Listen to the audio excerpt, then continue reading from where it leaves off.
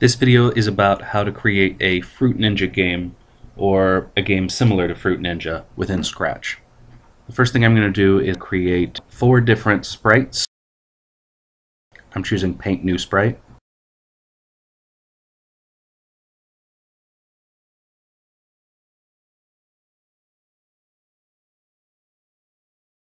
In your game, the sprites could be fruits, they could be um, anything that you want them to be. They could be letters. In mine, I've chosen to just make them the arrow directions to keep things as simple as possible and as easy to understand as possible.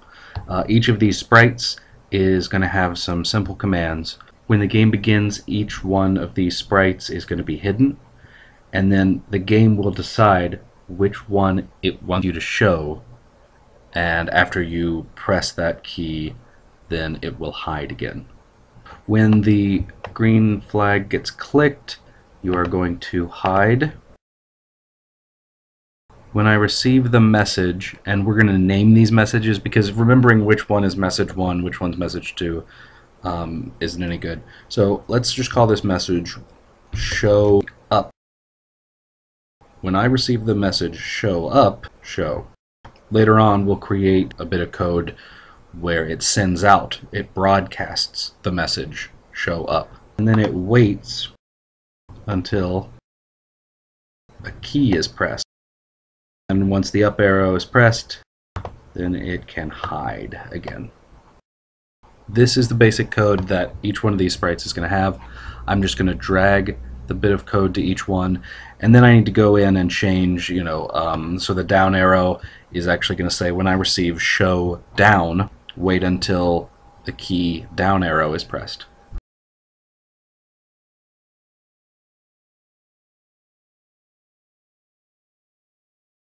Once each of these sprites have that code, um, we're going to go to the stage.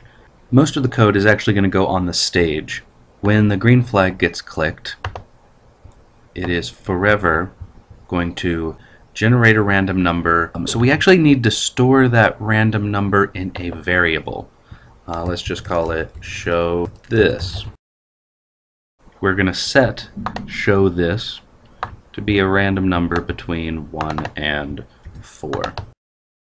If the number stored inside of show this is equal to 1, then we are going to broadcast a message to show up We wait until the up arrow gets pressed and then we're going to give the player a point. All of the code that I have in here is going to be uh, reproduced exactly the same for uh, the up arrow, for the down arrow, for the left and right. So I'm just going to right click it and say duplicate.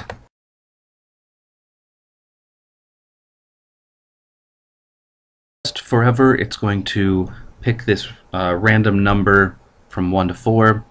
If that random number is 1, then it's going to show up, and it's going to wait until we press up, and then it's going to give us a point.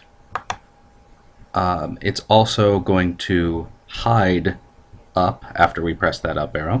The same thing if the random number is 2, it's going to show the down arrow, it's going to wait until the down arrow is pressed and give us a point. If that random number was 3, it's going to show the left arrow. It's waiting until the left arrow is pressed. Alright, let's test it out. It's working really well. If I do not press the correct one, if I press left, up, right, nothing happens. But when I press the correct one, it chooses a new um, random number and works perfectly. One last thing I want to create is a timer. I'm just going to make a variable called time. I'm going to start a new script that says when the green flag gets clicked, set the time to, um, let's say, 30 seconds, and then repeat 30 times. Change time by minus 1, subtracting a second, and then each time uh, we're waiting one second. And then finally, once that has counted down 30 times, it stops everything in the game. Let's go to the data section. I want to turn off the show this variable since the player doesn't need to see that. Uh, I'm also going to rearrange this so that the time is on top and points are at the bottom. I could rearrange it and put points over here if I wanted to, and let's test it out. The only problem is that I forgot to tell it to reset the points to zero every time someone starts a new game. So to do that, I'm going to say set points to zero.